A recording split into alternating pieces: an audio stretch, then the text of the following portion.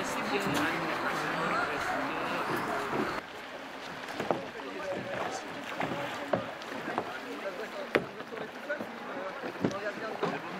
les gars, sourire, sourire. Et bien Et Pascal Allez, allez, allez. Ouais, mais je me suis pas lavé les dents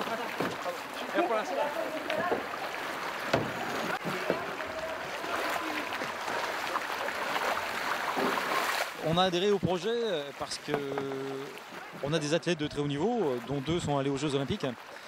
Et ben, on, essaie de faire profiter euh, des muscles qu'ils ont à ceux qui n'en ont pas forcément.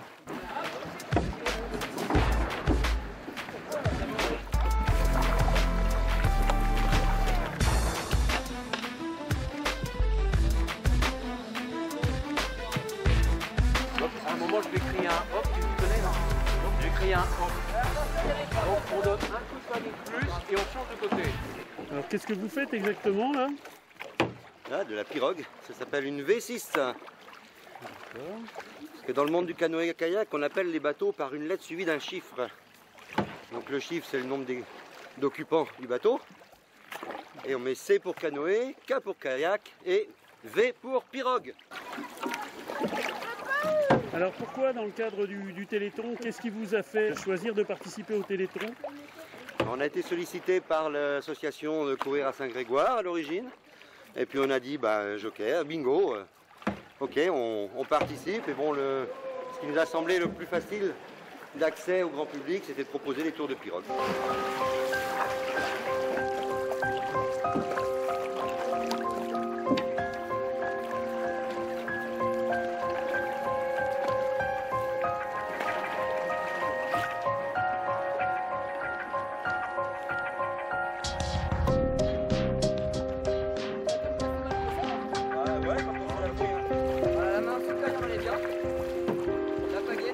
Légèrement. Pourquoi est-ce que vous avez choisi de parrainer le Téléthon de Saint-Grégoire? Bah déjà parce que mon club euh, organise une animation euh, en faisant de la pirogue euh, toute la journée pour euh, toutes les personnes qui veulent participer euh, au Téléthon. Et puis euh, je trouve que c'est une, une occasion euh, assez importante bah, vis-à-vis de la recherche. D'accord. Et, qu'est-ce que vous en attendez exactement vous?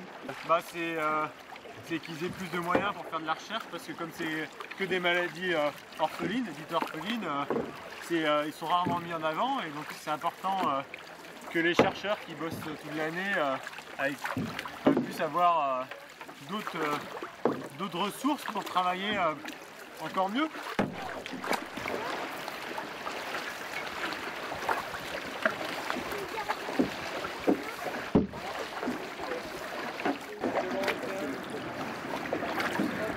La jambe. Voilà. Voilà.